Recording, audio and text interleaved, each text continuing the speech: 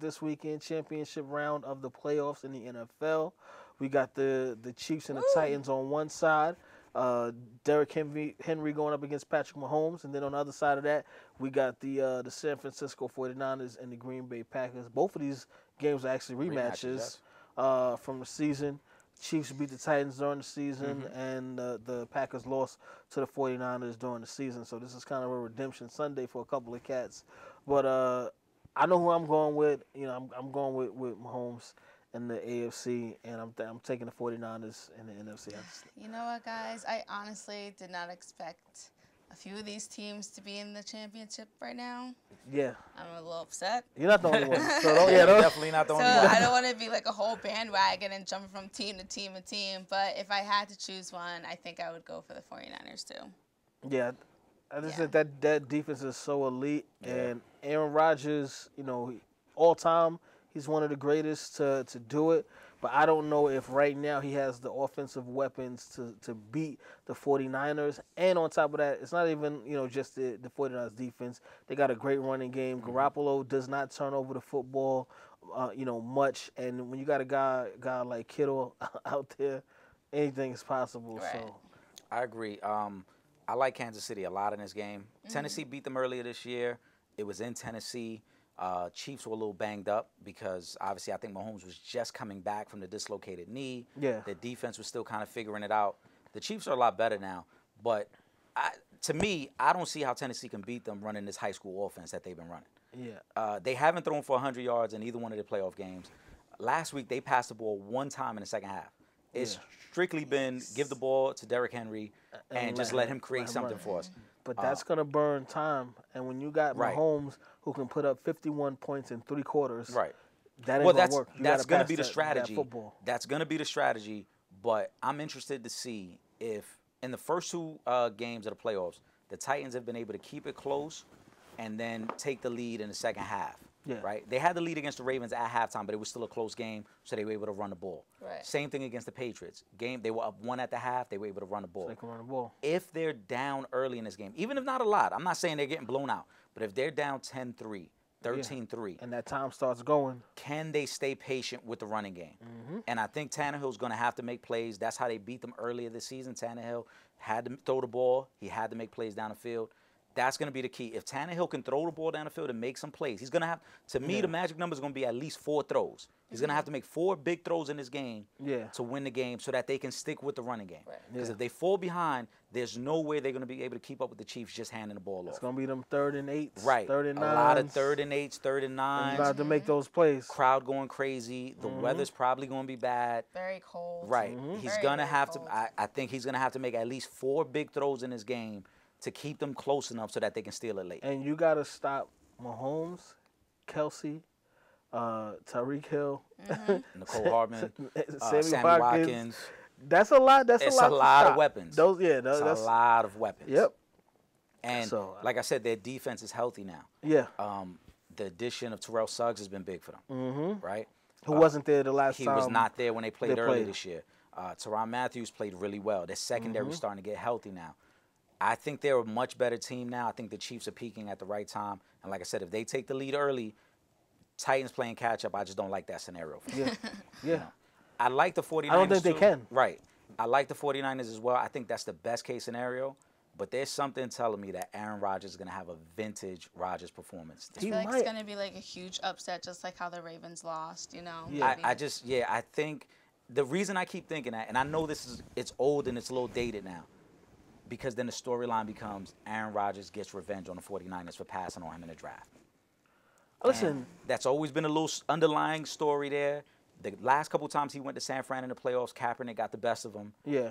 And I just have a feeling this kind of feels like that last hurrah for a great quarterback. And then he goes on to lose in the Super Bowl to Possibly, Mahomes. yeah. But it, it just kind of feels like that last hurrah. They got the Yeah, good running game. I'm not gonna doubt it because I do feel like if you know someone could get past this defense, Aaron Rodgers is the guy. I mean, Davante Adams, he's finally playing like he's supposed Davante's to. been Last amazing, week he had a Oh, he had a crazy game. So if they can kind of reciprocate that, then you know anything's possible. But you know they also got to play defense as well.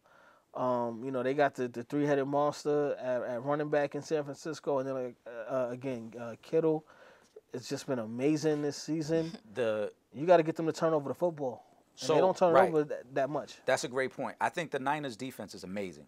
We see Bosa. We criticized Bosa on draft night, but we said Well, if I mean, he but that was off the field. not right, stuff. but we said if he plays well, all will be forgiven. and he has. And he has played well. He's probably going to be defensive rookie of the year. Right. Oh yeah. Their defense has been amazing. Richard Sherman looks like the Richard Sherman of old. Mm-hmm. Um, the other corner's a little suspect, but Richard Sherman nonetheless has, has been an All Pro this year. He out here. He looking like he's back in the Legion of Boom. Right. Playing like that. The one thing I will say that concerned me about the Viking game, and I they won, it looked dominating, but I don't think it was as dominating as everybody thinks. Why there were not? because there were two key points in that game that flipped that game when it was still close. Mm-hmm. When it was 17-10, Kirk Cousins throws that bad interception to Sherman deep in their own territory. Yeah. Right? The Niners run the ball like seven straight times, they score. They go up Mm-hmm. 24-10. Then the Vikings get a stop, they're getting the ball again, and Mm. Sherels fumbles the ball inside his 10-yard line. And that those two plays put the game away because it went from being 17-10 Yeah. with having the ball to now you're down 27-10 late in the fourth quarter and now there's no shot. So the Those the turnovers plays you, you got to make it Right. to beat them. Correct. That's the key. The turnovers. If you limit them and make them go a, a full length of the field, don't Yeah. let them get the short fields where they could just rely on the running game and George Kittle. Force them to go down the field. Then it could become a different game. I think you got you got you you have to put Garoppolo in a position where he has to pass has the to- football. Has to pass the Not that he's passing just because they're in the free of Right. the offense and they're just moving and grooving. You have to put him in a position where he has to pass the football because he is the weak link on that team. Well, yes. If, if I mean, in according to the team, Right. Defense is elite. The tight end position is is elite. Emmanuel Sanders, you know, very good wide receiver. Yeah. So Mm-hmm. realistically, with the area that you're going to be able to to say, all right, we can kind of get in here and shake this thing up. We can get these guys. Is Jimmy Garoppolo? You got Right. to get to him and make him make some poor decisions out there on the field. If you can do that with Aaron Rodgers, you can uh, you can get that W. You can steal that win. Yeah, that's going to be the key. I, mean, I, I would love to see San Fran and Kansas City. I think that's the best case scenario right now. but something tells me that Aaron Rodgers has just one more game in him Listen, where I'm he reminds mad. us of ain't mad at why. If he does it, that's I, I think he has that one more. So does that mean that you're going for I'm, the Packers? I'm taking Green Bay.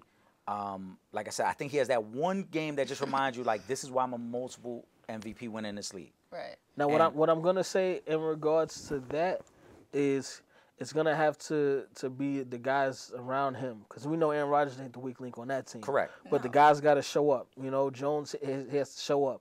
You gotta have Davante Adams. It, it can't be one of those down games where you in fantasy football you pissed off because he got 30 yards this week. It can't it can't be that. He's got to have that game like he had last week. The running backs gotta gotta move the ball. The other receivers, Lazard. Uh, And Geronimo Allison. yeah, they they have to I think plays. Jimmy. Graham is big. Jimmy Graham has to be big in this game. I mean, he's he's playoff tested. He He's- can he can do it. Listen, Davante, they're gonna take him away. Whether it's Sherman, whether it's double coverage, they're not gonna. He's not gonna have eight catches for 140 like he did last week. Yeah. that's No, just it's not going to be harder. right. Yeah, It's gonna be much this, harder against this defense. Right, it's gonna be harder. So, what do you do to combat the pass rush? You got to get the ball out quick. Jimmy Graham's got to be ready. He's got to make plays over the middle of the field, Mm-hmm. and that will help them kind of slow down the pass rush. Right. Yeah. Because as we saw last week, Kirk Cousins holding, holding, holding, nobody's getting open, and now you're taking Yeah. a beating. Yeah. I got to get the ball get out quick. sacked. Right. So Aaron Jones got to be ready for the ball quick. Jimmy Graham's got to be ready for the Yeah, ball. Yeah, because they have an amazing front four. They may Right. they may have the best front four in uh, football. Right. They do. So yeah, you're gonna have to get that ball out quick, and Jimmy Graham, you're gonna have to be the security blanket. Right. Even if even if you're only getting seven yards, but if you're getting seven yards on every reception that you make, you damn near at the first down. Listen, second and three is a lot better than second and 15 because we just took a sack. Yeah. That's true. Yeah. Got to get the ball out. So uh, that's what I'm going with. I, I'm taking Green Bay uh, against Kansas City in the State Farm Super Bowl. So we all got different teams here, guys. Yeah. I mean, I think we, we, we all kind of in agreement on on the AFC side with uh, the Chiefs taking that one. True. Um, but yeah, but on listen, and I'm and again, you know, Aaron Rodgers is good enough to upset the 49ers. You know, the the further you go into the playoffs, the bigger that moment gets. Right. Yeah. You know, and everybody hasn't been in those moments before. As good as Garoppolo's been, you know, he, again, he doesn't turn off the, the ball much. He has not played in the AFC in the NFC Championship game, championship game period. He hasn't played in. it. Aaron Rodgers has been there, done that, bought the T-shirt, got his uh, insurance and all of that and everything, you know. So he's uh, he, he's good to go.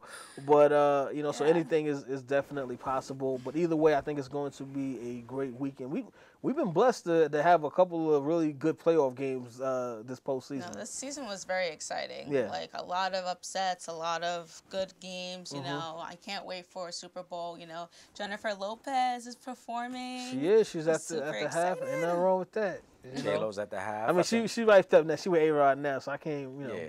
But but she look good. You still looking good out here, J Lo. Jill You looks doing your thing. amazing for her Exactly. age. You know, Ain't- I she mad kills it every single performance that she has. Jenny from the block And never Exactly. disappoints. Absolutely, and they uh they announced Demi Lovato's doing the national anthem. Yeah, Yes. she has a powerful voice, super, super talented.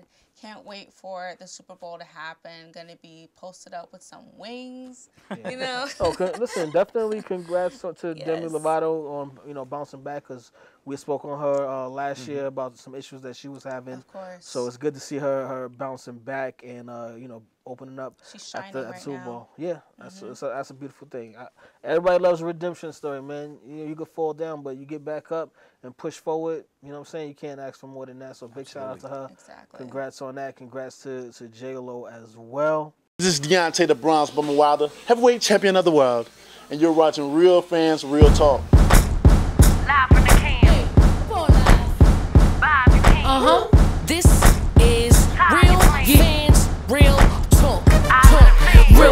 real talk. Real real. We as real as you thought.